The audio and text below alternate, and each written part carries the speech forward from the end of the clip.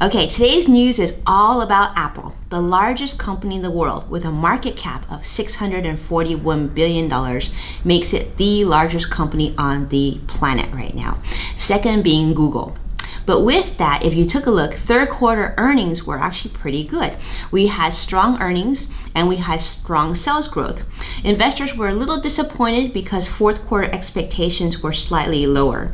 And with that, you may have seen the recent 18% drop between the dates of uh, July the 22nd and about mid August. Some of that loss was recovered up to yesterday, but still there's a little bit of ways to go. But the big news today is today is Apple's product launch event which is the big deal. First of all, it used to be that Steve Jobs would come out in his turtleneck and announce all these products, but today we are expecting news on the iPhone 6s and the 6s Plus.